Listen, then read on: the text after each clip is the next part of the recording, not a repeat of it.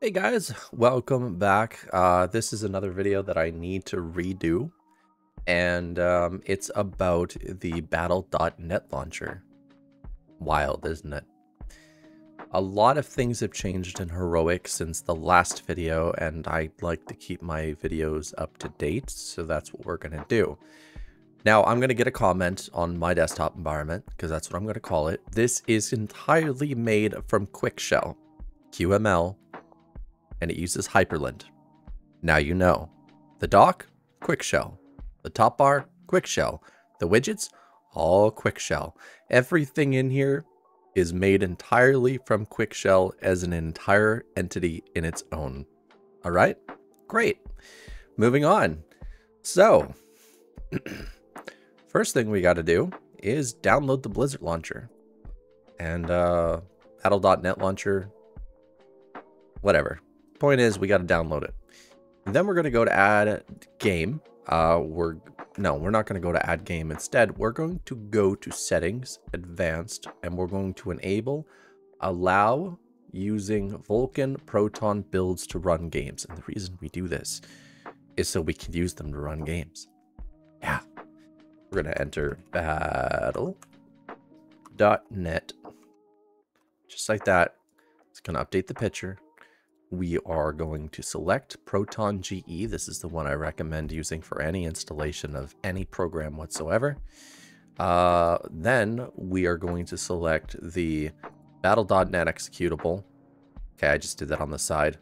Uh, those are my downloads, not yours, and I don't know if I have anything illegal in there, and if I do, well, you don't get to see it. So we're going to choose English, and Normally, these days with Lutris or anything else, it stops at 45%, but with Heroic, eh, believe it or not, after a few seconds, it's done. And hit continue. And it's going to do its thing, just like always. And once it's done installing, uh, it's going to hopefully start up. And you'll see that it works. But don't log in. Not yet. Just wait. We got some other stuff to do. Mwahaha. All right, so now that it's finished, hopefully it will execute perfect. It will automatically launch itself. And we're going to just click this. We're going to wait till these turn colored. Any day now. And we're going to select where it installed. And it's still, unfortunately, a 32-bit program.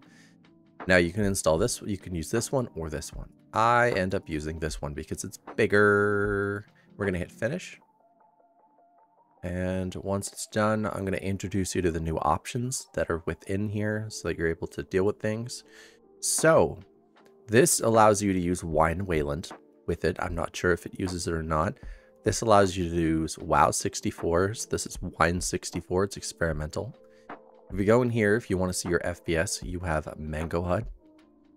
And, well, for the rest of it, this is where any of your variables will go. Okay, so any proton-like flags will go in here. Other than that, when we hit play,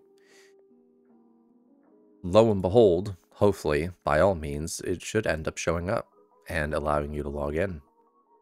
And that is it. This is the entire video. Nice, short, and to the point. And if you appreciate that, subscribe. It means a lot to me. Leave a nice comment, helps me with the evil AI algorithm. Don't forget to like the video. And if you really want to support the channel, you could do so by becoming a member on YouTube. Bye, everybody.